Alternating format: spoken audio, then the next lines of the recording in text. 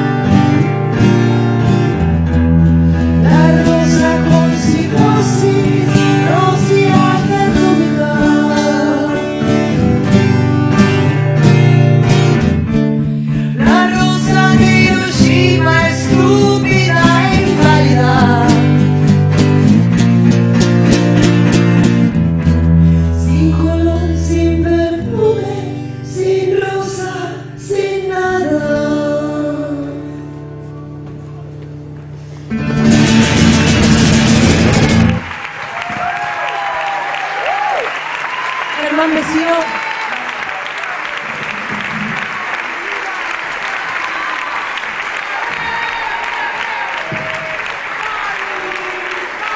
Que se metan las bombas en el culo.